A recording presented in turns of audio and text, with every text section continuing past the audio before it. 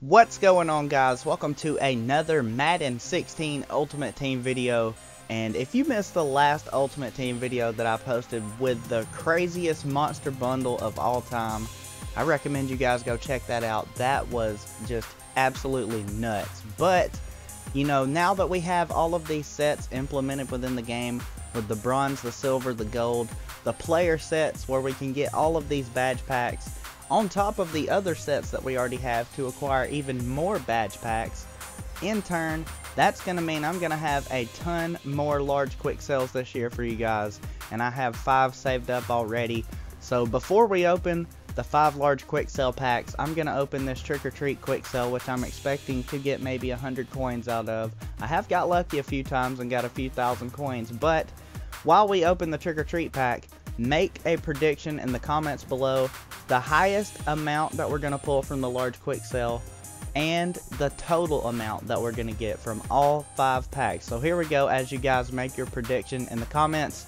We're opening our trick or treat quick sale pack. So here we go. Can we start it good with a thousand? And we get 1500. That's a little bit of a surprise there, guys. I believe that's the most I have pulled from these trick or treat packs. So we're starting it off with some good luck and let's see if we can do a lot better translating into the quick sales. Now sure, we're going to want a lot more than 1500. You know what, we're actually going to save that until the end. A little bit of a surprise there. I was expecting, you know, 150 coins, 200 coins, something like that. But here we go, guys. The first of five large quick sell packs. Get hype. We're going to pull something crazy. All right. 2,000 coins out of the first pack. We got to take it easy. That's what we're doing. And then we're going to translate into the big boy here at the end. So here we go, guys. The second large quick sell pack is going to contain 7,500. So there is a pro pack. So here we go. Another large quick sell pack coming up. And I'm ready for it, guys. It's going to contain, you know what? Let me just say 250,000. I'm going big. I don't even care. I've never pulled that much in the history of the large quick sales and 15,000 so we're just doubling our amount right now. I like where this is headed.